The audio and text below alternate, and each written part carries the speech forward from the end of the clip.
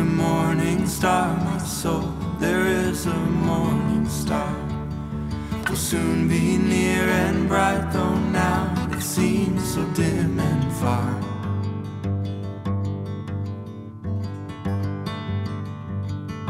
And when time stars have come and gone, and every mist of earth has flown, a better star shall rise on this world's clouded skies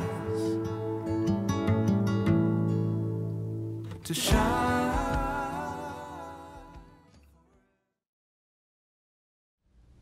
The Lord be with you, beloved Pillar community.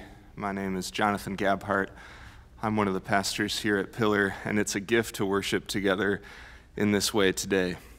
Today is the first Sunday of Eastertide, the season where we continue to sing our Alleluias and celebrate that Jesus is not dead but alive, that he is risen and reigns victorious over all creation. St. Augustine once said, We are an Easter people, and Alleluia is our song. So we're going to continue to sing Alleluia today. And some friends of ours at Pillar want to kick us off in that way by proclaiming their Alleluias together. Listen to this. Alleluia. Alleluia. Alleluia. Alleluia indeed. Today we gather to sing and pray, to hear the words of Jesus speaking grace and truth over our lives, to come around his table, to feast in the bread and the cup, and all the while proclaiming, Christ is risen. He is risen indeed. So let's prepare our hearts and minds to worship together.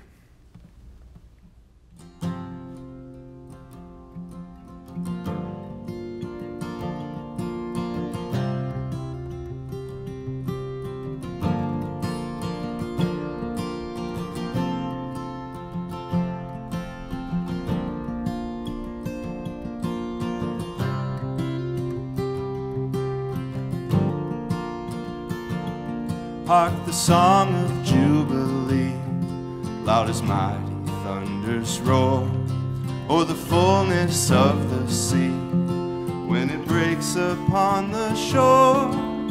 Hallelujah for the Lord, God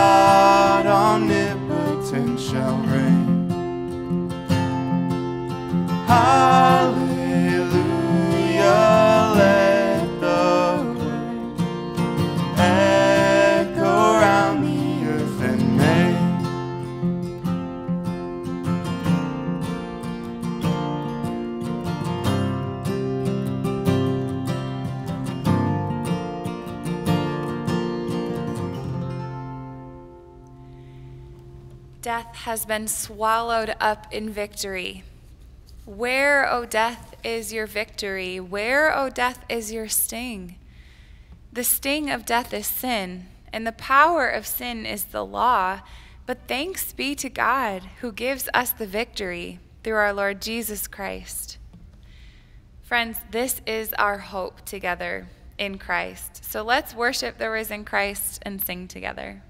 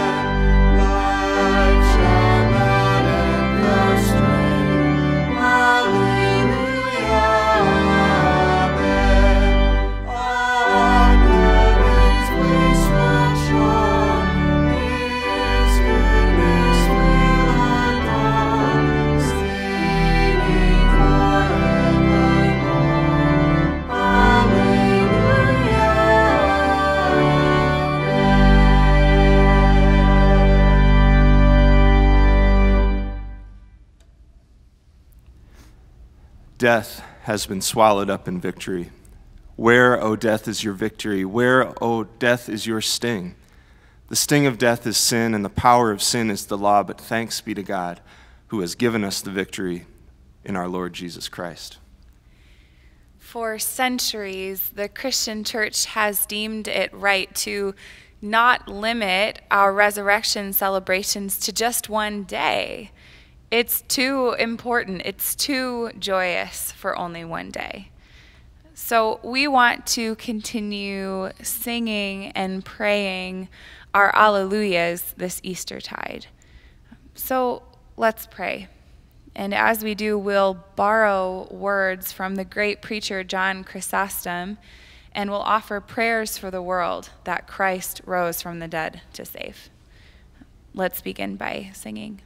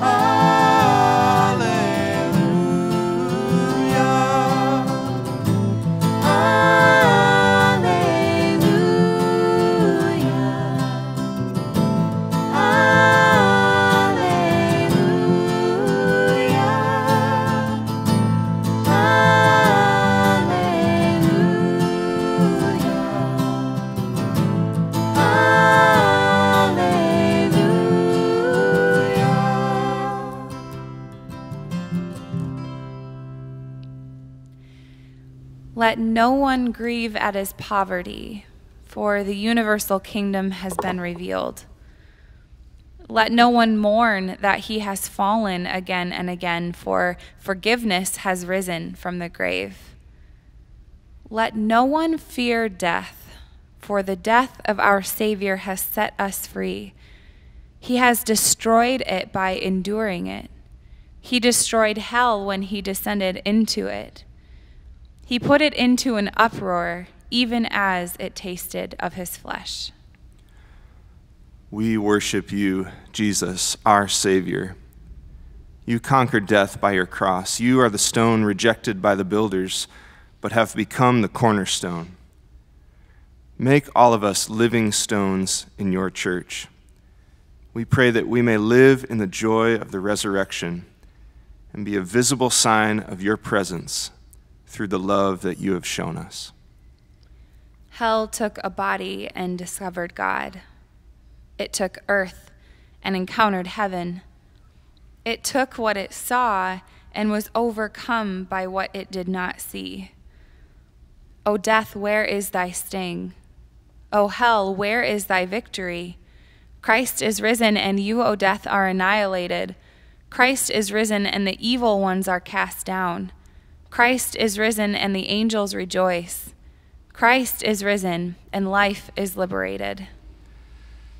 Jesus, your resurrection brings life and light and hope to the world. So, in the situations where pain and hurt take their toll, bring life. In the places in our lives where darkness looms, bring light. In the moments when the troubles of the world seem too much to bear, bring hope for all who are suffering from illness, grief, old age, loneliness. May your resurrection be a source of comfort. Christ is risen, and the tomb is emptied of its dead. For Christ, having risen from the dead, is become the first fruits of those who have fallen asleep. To him be glory and power forever and ever. Amen.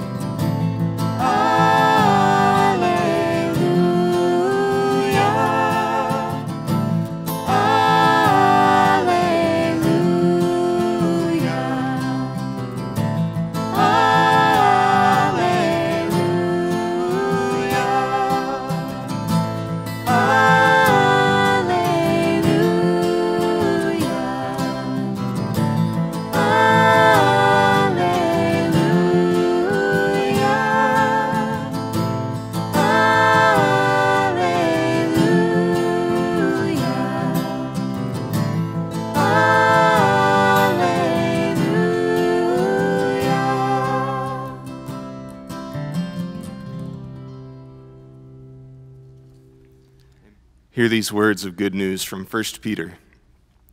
Through Jesus, we have come to trust in God, who raised him from the dead and gave him glory, so that your faith and hope may be set on God.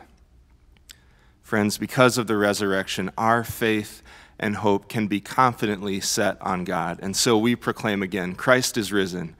He is risen indeed. The act of God raising Jesus from the dead reorients the entire trajectory of our lives and all of history and speaks over all of creation peace, hope, freedom. And we want to speak that same peace and hope and freedom with all of our lives.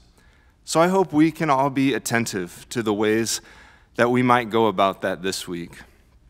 But just for now, a couple things as it pertains to the life of Pillar toward those same ends. If you're interested in becoming a member of Pillar or finding out more about our story and mission and vision together, we invite you to join us here at Pillar after the 11 o'clock service on April 25th for a light lunch and conversation.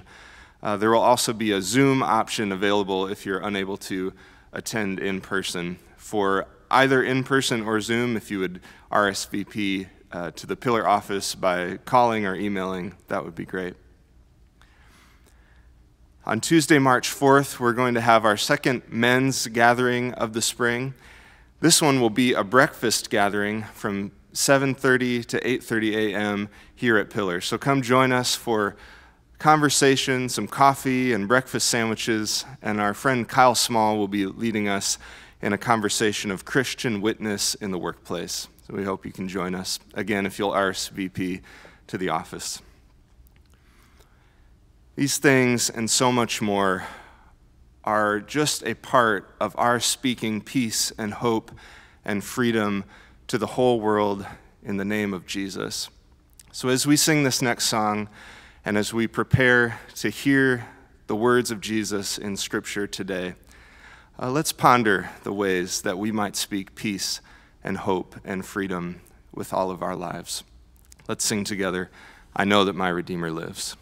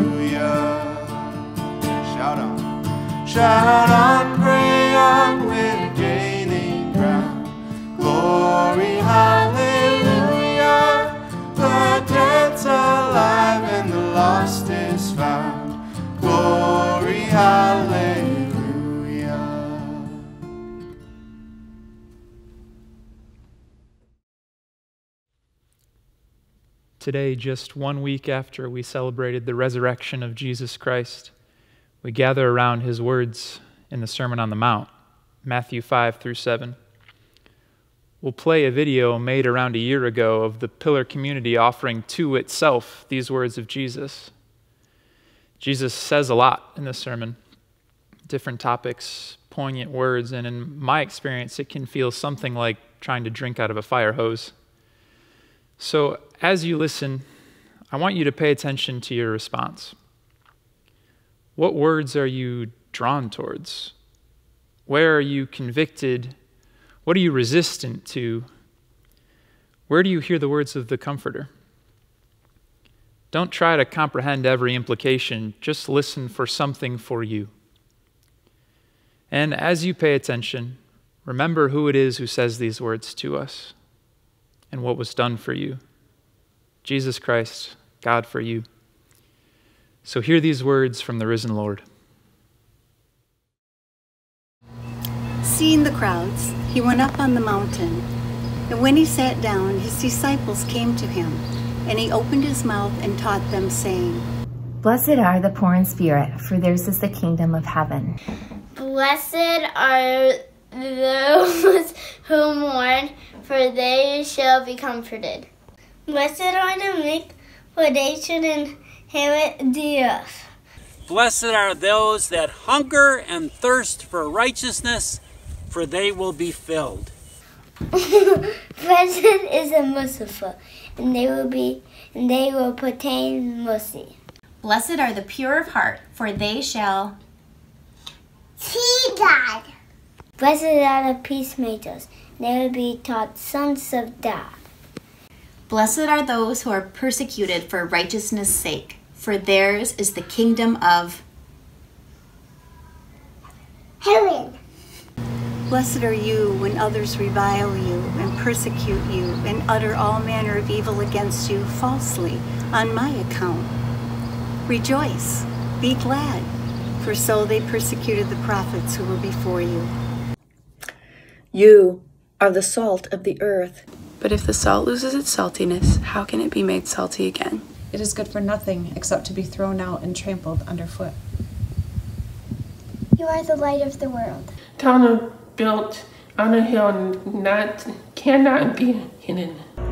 Neither does a person light a lamp and put it under a bowl.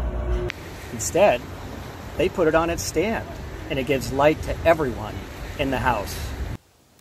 Let your light so shine before men, so that they see your good deeds and glorify your Father who is in heaven. Do not think I have come to abolish the law or the prophets. I have not come to abolish them, but to fulfill them. For truly I tell you, until heaven and earth disappear, not the smallest letter, not the least stroke of a pen, will by any means disappear from the law until everything is accomplished. Therefore, anyone who sets aside one of the least of these commands and teaches others accordingly shall be called least in the kingdom of heaven. But whoever practices and teaches these commands shall be called great in the kingdom of heaven. For I tell you that unless your righteousness surpasses that of the Pharisees and the teachers of the law, you will certainly not enter the kingdom of heaven. You have heard that it was said to the people long ago, Do not murder, and anyone who murders will be subject to judgment. But I tell you that anyone who is angry at his brother will be subject to judgment. Again, anyone who says to his brother, You moron, is answerable to the Sanhedrin. But anyone who says, You fool, will be in danger of the fire of hell. Therefore, if you are offering a gift at the altar, and there remember that your brother or sister has something against you, leave your gift there in front of the altar. First go and be reconciled to your brother and sister, then come and offer your gift. Settle matters quickly with your adversary who is taking you to court. Do it while you're still together on the way, or your adversary may turn you over to the judge, and the judge may turn you over to the officer, and you may be thrown into prison. I tell you the truth, you will not get out of prison until you have paid the last penny. You have heard that it was said, You shall not commit adultery. But I say to you, that anyone who looks upon a woman with lust has already committed adultery with her in his heart. So if your right eye causes you to sin, tear it out and throw it away. For it is better for you to lose one of your members than for your whole body to be thrown into hell. And if your right hand causes you to sin, cut it off and throw it away. For it is better for you to lose one of your members than for your whole body to go into hell.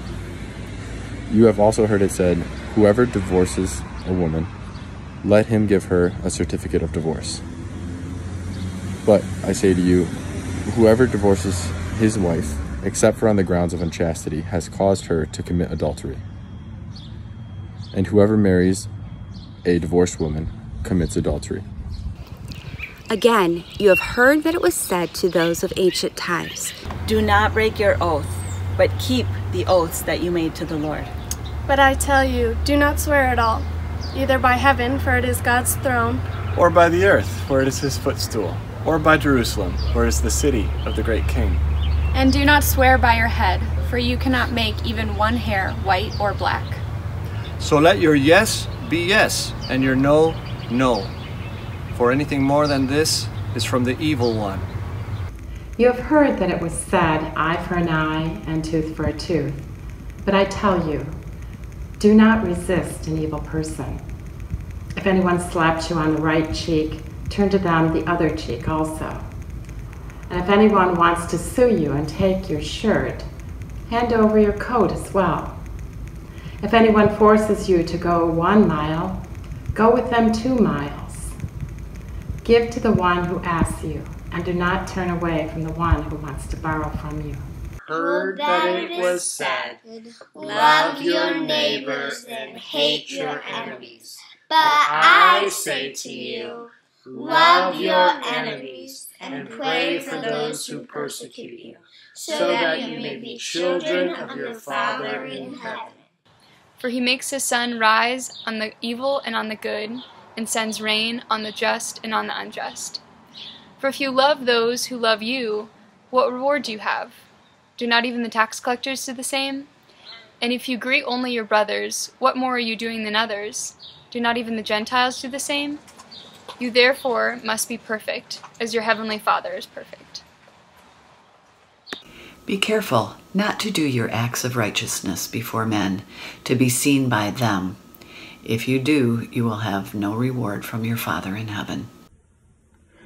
So whenever you give alms, do not sound a trumpet before you, as the hypocrites do in the synagogues and in the streets, so that they may be praised by others. Truly I tell you, they have received their reward. But when you give alms, do not let your left hand know what your right hand is doing, so that your alms may be done in secret, and your Father, who sees in secret, will reward you. Whenever you pray, do not be like the hypocrites, for they love to stand and pray in the synagogues and on the street corners so that they may be seen by others. Truly, I tell you, they have received their reward. But whenever you pray, go into your room and shut the door, and pray to your Father who is in secret, and your Father who sees in secret will reward you. Whenever you are praying, do not heap up empty phrases like the Gentiles do, for they think they will be heard because of their many words. Do not be like them, for your heavenly Father knows what you need before you ask Him. Pray then in this way Our Father, who art in heaven, hallowed be my name. Thy kingdom come, thy will be done on earth as it is in heaven. Give us this day our daily bread. Forgive us our debts as we forgive our debtors. And lead us not into temptation, but deliver us from evil. For yours is the kingdom, the power, and the glory forever. Amen. Lead us not in temptation, but deliver us from evil. For thine is the kingdom, and the power, and the glory, forever and ever. Amen. For if you forgive others their trespasses, your heavenly Father will also forgive you. But if you do not forgive others, neither will your Father forgive your trespasses. But when you fast, put oil on your head and wash your face, so that it is not obvious to men that you are fasting, but only to your Father, who is unseen. And your Father, who sees what you have done in secret, will reward you. Do not store up for yourselves treasures on earth, where moths and roughs destroy, and thieves break in and steal. But store up for yourselves treasures in heaven, where moths and rust do not destroy, and thieves do not break in and steal. For where your treasure is, there your heart will be also. The, eye is the lamp of the body. If the eye is healthy, the whole body is full of light. If the eye is unhealthy, the body is full of darkness. If then the light in you is darkness, how great is the darkness? No one can serve two masters, for he will either hate the one and love the other, or he will be devoted to the one and despise the other. You cannot serve God and money. Therefore, I tell you, do not worry about your life, what you will eat or drink, or about your body, what you will wear. Is not life more important than food, and the body more important than clothes? Look at the birds of the air. They do not sow or reap or store away in barns, yet your heavenly Father feeds them. Are you not much more valuable than they? Can any one of you, by worrying, add a single hour to your life? And why do you worry about clothing? Consider the lilies of the field, how they grow. They neither labor nor spin. Yet I tell you that not even Solomon in all his splendor is dressed like one of these. If God so clothes the grass of the field, which is here today and tomorrow is thrown into the fire, will he not much more clothe you, O you of little faith? So why do you worry, saying, What shall we eat? Or what shall we drink? Or what shall we wear? For the pagans run after all these things. But your heavenly Father knows you need them. But seek first his kingdom and his righteousness, and all the other things will be given to you. Therefore, do not worry about tomorrow, for tomorrow will worry about itself. Live one day at a time. Do not judge, or you will be judged. For the way you judge others is the same way that you will be judged, and the measure you used will be the measure used against you. Why do you look at the speck of sawdust in your brother's eye, and all the while you're paying no attention to the plank that's in your own eye? And how can you say, Let me remove that speck from your eye, while you have the plank in your own eye? You hypocrite. First, take the log out of your own eye, and then you will see clearly to take the speck out of your neighbor's eye. Do not give what is holy to dogs. And do not throw your pearls before swine, or they will trample them underfoot and turn and maul you. Ask, and it will be given to you. Seek, and you will find. Knock, and the door will be open to you. For everyone who asks receives, and everyone who searches finds, and for everyone who knocks, the door will be open. Is there anyone among you who, if your child asks for fish, would give a snake? If we then, who are evil, know how to give good things, how much more will our Heavenly Father give good things to those who ask Him? Therefore, whatever you want others to do for you, do also the same for them, for this is the law and the prophets. Do unto others as you would have others do unto you. Add up God's law and the prophets, and this is what you get. Enter through the narrow gate, for wide is the gate and broad is the road that leads to destruction. But small is the gate and narrow is the road that leads to life, and only a few find it. Beware false prophets. They come to you in sheep's clothing, but inwardly they're ferocious wolves. By their works you recognize them. Do people pick grapes from thorn bushes or figs from thistles? Likewise, a good tree bears good fruit, and a bad tree bears bad fruit. A good tree cannot bear bad fruit, and a bad tree cannot bear good fruit. Every tree that does not bear good fruit is thrown out, cut down, and thrown into the fire. Thus, by their fruit, you will recognize them.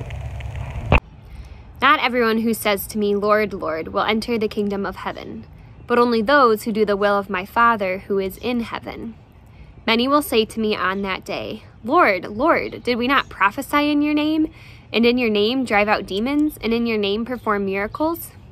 Then I will say to them plainly, I never knew you. Away from me, you evildoers.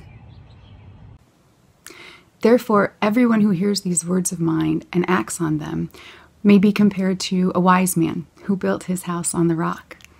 And the rain came down, the streams rose, the wind blew and beat against my house.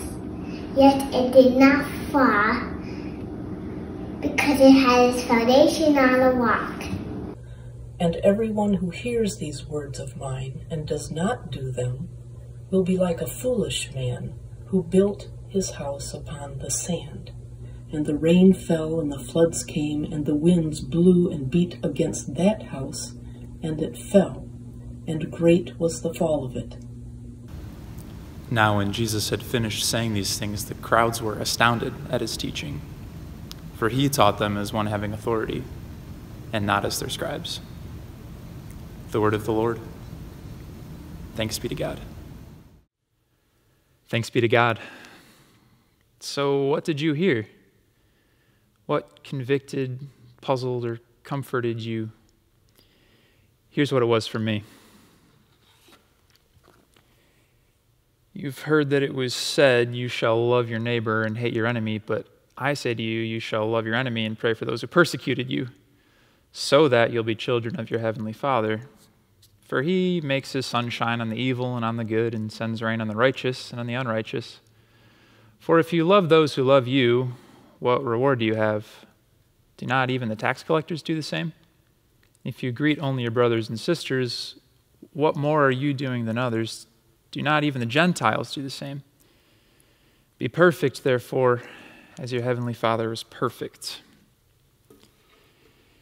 You have heard it said, Love your neighbor and hate your enemies.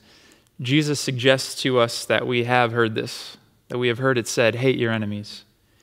He doesn't specify where, but he knows that we have heard it. So, where have you heard that said? You won't find it in the Bible, but we listen to a lot of things from a lot of different places. It's almost like Jesus may well have delivered this sermon to us today. So, first things first, let's confess that we have heard it said and that we are not immune to hating our enemies. To define yourself by who you aren't, saying, I'm not them, I don't roll with them, I don't do that, we don't say that, I don't think like that, I don't vote like that, I don't look like that. Be honest, you've heard it said and you've seen it done. Love your neighbor, but hate your enemy. And isn't it tempting? You might remember John preached a sermon on this just a couple months ago. It was a great sermon. It was direct, honest, and yet, don't tell him, but I found myself distracted. As John asked us to be honest about the people in our life who we direct our hate towards, I struggled to do so. I couldn't really think of anybody in the moment. After all, I'm a Christian. I'm nice. I'm relational. I'm empathetic. I'm loving. There's no room for hate, right?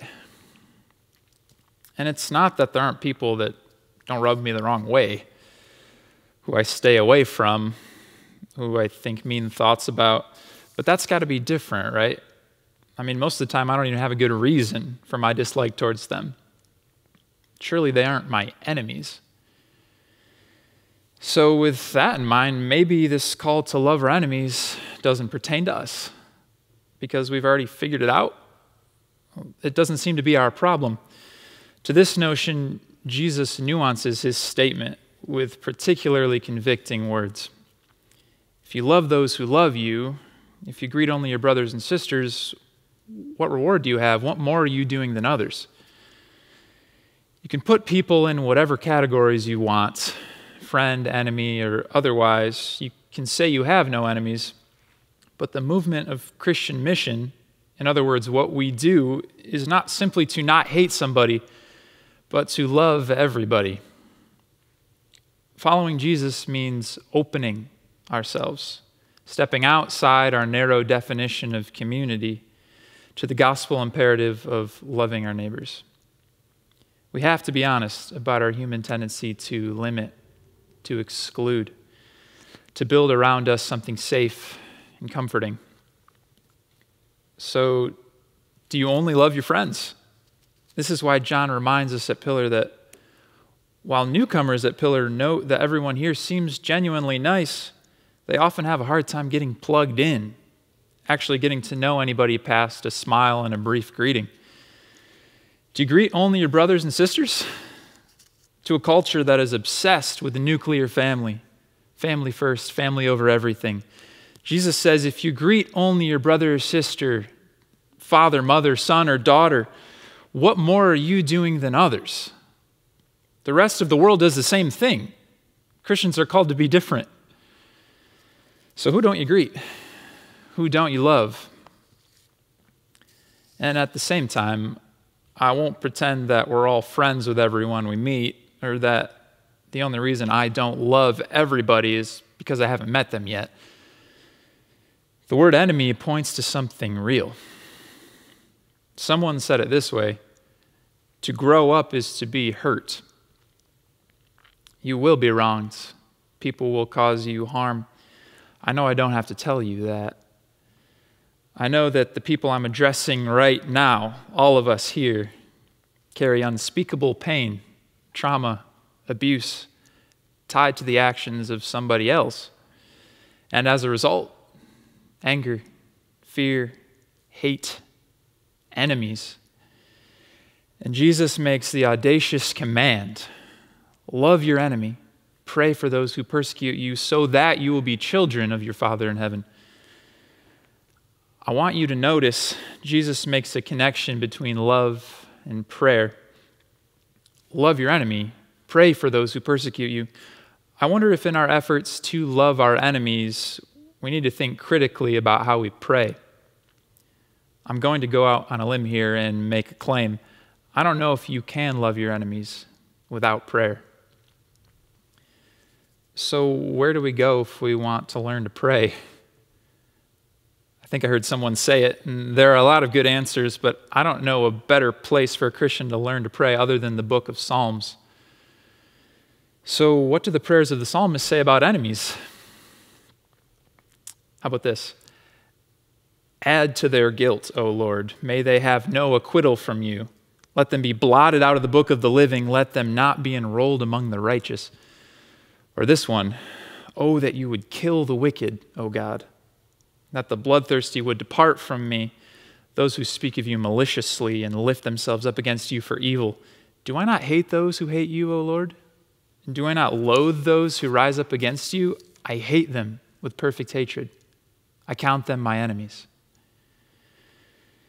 These psalms that address enemies are called imprecatory psalms. So, what's going on here? Does it sound like love? Did these words accidentally slip into our holy scriptures, or are we to critique the psalmist? Is this great resource for prayer inconsistent with Jesus' words to love our enemies? Here's a helpful quote to help us think about those questions. It comes from a book by Miroslav Volf, Protestant theologian. The book's called Exclusion and Embrace. Here's the quote for the followers of the crucified Messiah, the main message of the imprecatory Psalms is this rage belongs before God. By placing unintended rage before God, we both we place both our unjust enemy and our own vengeful self face to face with a God who loves and does justice. When one knows that the torturer will not eternally triumph over the victim, one is free to rediscover that person's humanity and imitate God's love for them. Love your enemy.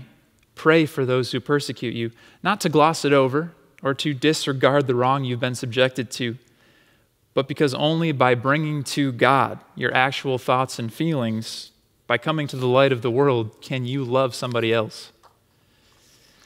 To be a Christian is to do something different, something new, to love To be clear, we aren't able to do this simply because Christians had a new idea or an accountability community.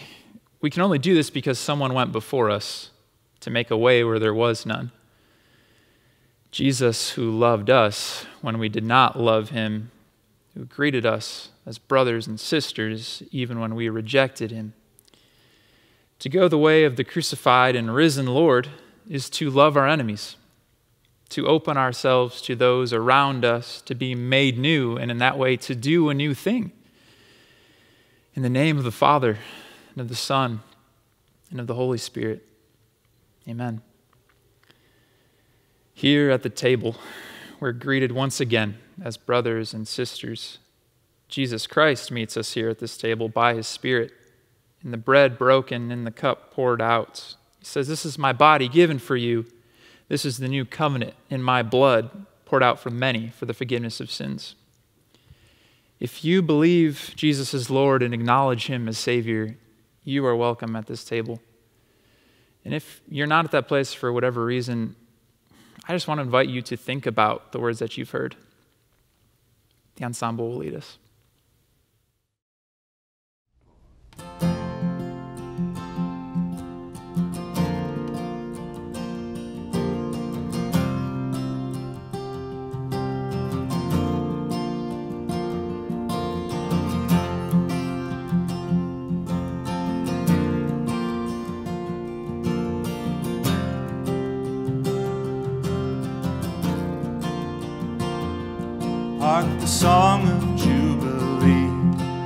Loud mighty thunder's roar, or the fullness of the sea when it breaks upon the shore. Hallelujah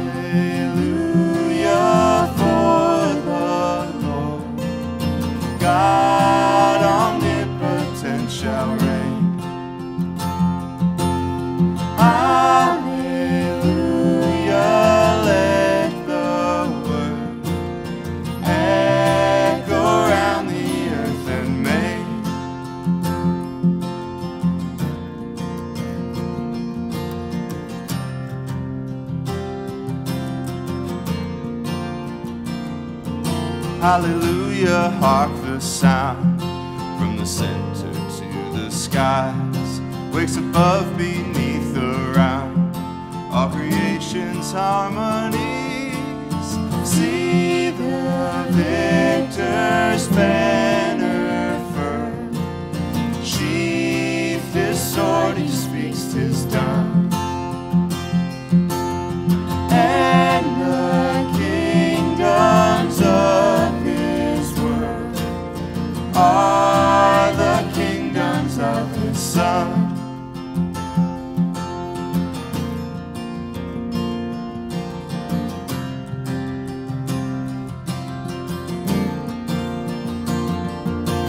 shall reign from pole to pole with illimitable sway.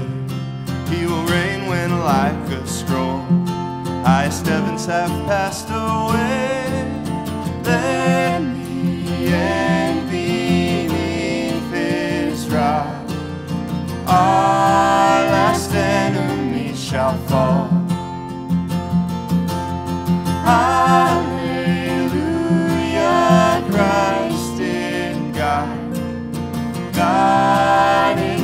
Christ is all in all.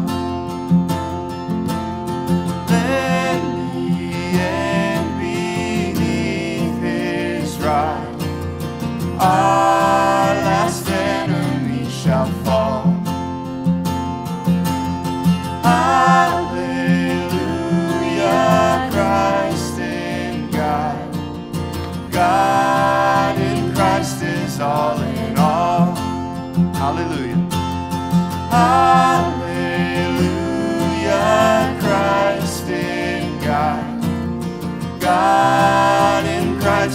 all.